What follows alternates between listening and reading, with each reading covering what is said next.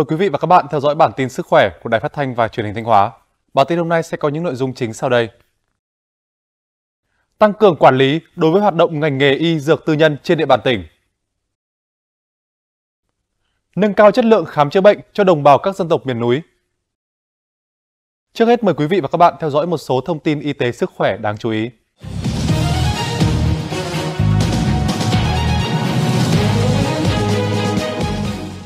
Thưa quý vị và các bạn, Ủy ban nhân dân tỉnh Thanh Hóa vừa có công văn gửi các sở, ban ngành, đơn vị cấp tỉnh, Ủy ban nhân dân các huyện, thị xã, thành phố giao triển khai thực hiện kết luận của Thường trực Hội đồng nhân dân tỉnh về việc chấp hành các quy định của pháp luật về quản lý hành nghề y dược tư nhân trên địa bàn tỉnh giai đoạn 2021-2023. Ủy ban nhân dân tỉnh yêu cầu các sở, ban ngành cấp tỉnh, Ủy ban nhân dân các huyện, thị xã, thành phố và các đơn vị liên quan xây dựng kế hoạch và tổ chức triển khai thực hiện nghiêm, có hiệu quả các giải pháp nhằm tăng cường công tác quản lý nhà nước đối với hoạt động của các cơ sở y dược tư nhân trên địa bàn theo kết luận số 414 ngày 12 tháng 6 năm 2024 của Thường trực Hội đồng nhân dân tỉnh. Ủy ban nhân dân tỉnh giao Sở Y tế căn cứ các quy định của pháp luật hiện hành, chủ trì phối hợp với các sở ngành, đơn vị liên quan, khẩn trương nghiên cứu tham mưu thay thế chỉ thị số 07 ngày 27 tháng 4 năm 2018 của Chủ tịch Ủy ban dân tỉnh về tăng cường quản lý hoạt động hành nghề y dược ngoài công lập trên địa bàn tỉnh Thanh Hóa để phù hợp và đáp ứng yêu cầu quản lý trong tình hình mới hiện nay. Về xây dựng kế hoạch triển khai thực hiện công tác quản lý hoạt động hành nghề y dược tư nhân trên địa bàn tỉnh, Sở Y tế nghiên cứu kỹ các quy định hiện hành của pháp luật trên cơ sở góp ý của các sở ngành đơn vị, Ủy ban nhân dân các huyện, thị xã thành phố, tham mưu dự thảo kế hoạch triển khai của tỉnh đảm bảo chất lượng, đúng thẩm quyền, báo cáo Ủy ban nhân dân tỉnh, Chủ tịch Ủy ban nhân dân tỉnh theo quy định. Cục Quản lý Dược vừa quyết định công bố gia hạn giấy đăng ký lưu hành 1.200 loại thuốc sản xuất trong nước, thuốc nước ngoài, thuốc có chứng minh tương đương sinh học, phục vụ nhu cầu mua sắm đấu thầu thuốc cho điều trị. Trong 1.200 loại thuốc gia hạn giấy đăng ký lưu hành, có 174 thuốc nước ngoài, 102 thuốc có chứng minh tương đương sinh học có thay đổi, bổ sung thông tin thuốc. 916 thuốc sản xuất trong nước, hai thuốc được gia hạn theo quy định tại khoản 1 điều 3 Nghị định số 80/2023 QH15 ngày 9 tháng 1 năm 2023 của Quốc hội. Cục Quản lý Dược yêu cầu cơ sở sản xuất, nhập khẩu và cơ sở đăng ký thuốc có trách nhiệm sản xuất thuốc theo đúng các hồ sơ tài liệu đã đăng ký với Bộ Y tế và phải in số đăng ký được Bộ Y tế Việt Nam cấp lên nhãn thuốc. Đây là những thuốc thiết yếu khá đa dạng về nhóm tác dụng dược lý, gồm thuốc điều trị ung thư, tim mạch, tăng huyết áp, đái tháo đường, thuốc kháng virus, thuốc điều trị bệnh lý đường hô hấp, thuốc kháng sinh, hạ sốt, giảm đau, kháng viêm thông thường khác. Đối với các loại vaccine, sinh phẩm y tế được công bố số đăng ký lưu hành thời gian qua của Cục Quản lý Dược đều là những sản phẩm có nhu cầu sử dụng nhiều trong khám chữa bệnh, phòng chống dịch bệnh. Thời gian gần đây, cả nước ghi nhận nhiều dịch bệnh truyền nhiễm diễn biến phức tạp, trong đó có các mầm bệnh như virus viêm não Nhật Bản, vi khuẩn não mô cầu, vi khuẩn phế cầu gây viêm não, viêm màng não, có nguy cơ cao để lại di chứng tàn tật vĩnh viễn cho người bệnh. Theo thống kê của Tổ chức Y tế Thế giới, mỗi năm thế giới có khoảng 1,2 triệu ca mắc viêm màng não do não mô cầu. Khoảng 50% bệnh nhân mắc não mô cầu sẽ tử vong nếu không được điều trị kịp thời. Tại Việt Nam, viêm màng não do não mô cầu được xếp là một trong 10 bệnh truyền nhiễm có tỷ lệ tử vong cao nhất với hàng chục ca mắc bệnh được ghi nhận mỗi năm. Bệnh não mô cầu xuất hiện quanh năm, gặp ở mọi lứa tuổi, có thể bùng phát thành dịch ở những nơi tập trung đông người như doanh trại, ký túc xá sinh viên, trường học, nhà trẻ, nhà máy, công sở. Theo các bác sĩ, các vaccine não mô cầu không có miễn dịch phòng ngừa chéo nên trẻ em và người lớn cần tiêm sớm đầy đủ các vaccine phòng 5 nhóm huyết thanh gây bệnh kể trên, không nên trì hoãn hoặc chỉ tiêm một loại. Ngoài ra mọi người cần giữ môi trường sống thông thoáng, tránh ao tù nước động, diệt loang quăng và mũi để phòng bệnh. Ước tính trung bình một người Việt tiêu thụ 1 lít đồ uống có đường mỗi tuần. Đây là con số rất lớn. Việc tiêu thụ quá nhiều đồ uống có đường sẽ dẫn đến nguy cơ thừa cân béo phì, mắc đái tháo đường tuyếp 2, tim mạch và hàng loạt bệnh lý khác. Trong khi đó, Tổ chức Y tế Thế giới khuyến cáo việc tiêu thụ đường tự do hoặc bất kỳ loại đường nào được thêm vào thực phẩm hoặc đồ uống nên được giới hạn ở mức dưới 10% tổng năng lượng. lý tưởng là dưới 5%, ước tính khoảng 25 gram mỗi ngày cho một người trưởng thành trung bình.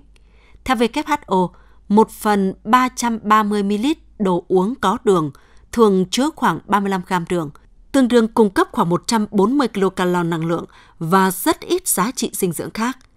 Việc tiêu thụ quá nhiều đồ uống có đường sẽ dẫn đến nguy cơ thừa cân béo phì, mắc đái tháo đường tuyếp 2, rối loạn chuyển hóa tim mạch, ảnh hưởng đến bệnh lý thận, tăng nguy cơ tai biến mạch máu não, gây sâu răng, gút. Nghiên cứu tổng quan hệ thống và phân tích tổng hợp cho thấy tiêu thụ đồ uống có đường tăng nguy cơ đái tháo đường tuyếp 2 lên 1,51 lần.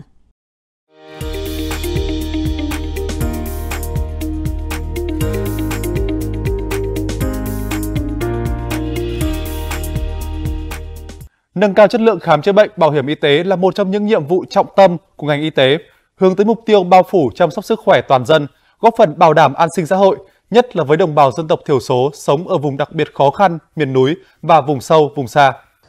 Thực hiện phương châm đổi mới phong cách thái độ phục vụ của cán bộ y tế hướng tới sự hài lòng của người bệnh.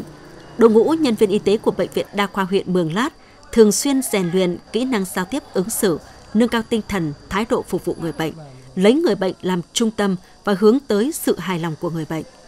Ngoài công tác khám chữa bệnh cho bà con nhân dân trên địa bàn, hàng năm bệnh viện còn khám điều trị bệnh miễn phí cho trên 1.000 lượt bệnh nhân của nước bạn Lào là các bệnh nhân nghèo, hộ nghèo ở các huyện Sốp Bâu, Viêng Say, Siêng Khọ của tỉnh Hủa Phan. Tôi bị đau bụng nhiều ngày rồi, được người nhà đưa vào bệnh viện để khám, phát hiện dịch trong ổ bụng. Tại bệnh viện tôi được các bác sĩ hướng dẫn chu đáo nhiệt tình, vừa có tay nghề nên sau một thời gian điều trị, bệnh tình của tôi đã thuyên giảm rất nhiều. Theo các bác sĩ, chỉ nay mai là tôi được xuất viện. Tôi cảm ơn các bác sĩ rất nhiều. Mặc dù còn gặp nhiều khó khăn về cơ sở vật chất, trang thiết bị, kinh phí đào tạo nguồn nhân lực, nhưng bằng lòng nhiệt huyết, yêu nghề, sự đồng cảm, sẻ chia với bệnh nhân, tập thể cán bộ y bác sĩ, nhân viên các bệnh viện tuyến miền núi, vùng cao tiếp tục vượt khó, vươn lên thực hiện mục tiêu xây dựng tập thể bệnh viện đoàn kết sáng tạo, tận tụy, trách nhiệm, đồng thời xây dựng hình ảnh người thầy thuốc giàu y đức, tinh thông y thuật, có đạo đức nghề nghiệp để người bệnh và người nhà người bệnh yên tâm điều trị, góp phần thực hiện tốt công tác khám chữa bệnh cho đồng bào miền núi. Bệnh viện Đa khoa huyện Mường Lát trong những năm qua à, về cơ sở vật chất trang thiết bị thì xuống cấp trầm trọng, đặc biệt là cơ sở thì ờ, nhà thì xuống cấp, ờ,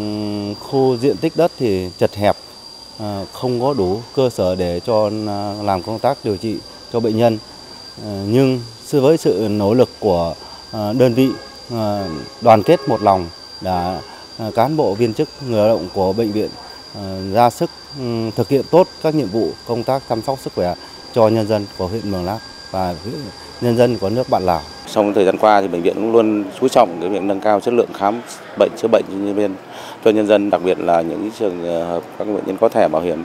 y tế trong cái khi đến khám chữa bệnh tại bệnh viện ờ, bằng những hình thức ờ, đào tạo nhân lực nâng cao trình độ chuyên môn nghiệp vụ rồi mua sắm thêm trang thiết bị y tế hiện đại xây dựng cơ sở hạ tầng đặc biệt là ứng dụng công nghệ thông tin trong công tác đăng ký thanh toán tạo điều kiện thuận lợi thuận nhất cho người dân khi đến khám chữa bệnh tại bệnh viện. Để nâng cao chất lượng khám chữa bệnh cho người dân, hiện nay tại các bệnh viện, công tác cải cách thủ tục hành chính, áp dụng công nghệ thông tin và quản lý cũng ngày càng được đổi mới. Bên cạnh đó, các bệnh viện đã chú trọng đề ra nhiều giải pháp tổ chức thực hiện nghiêm túc và có hiệu quả quy định về y đức, quy tắc ứng xử, quy định về chế độ giao tiếp, thực hiện tốt các quy chế về chuyên môn.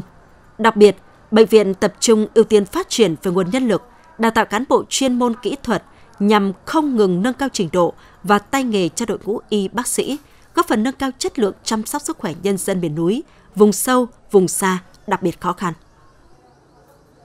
Bản tin sức khỏe xin được tạm dừng tại đây. Cảm ơn quý vị và các bạn đã quan tâm theo dõi. Xin kính chào tạm biệt và hẹn gặp lại.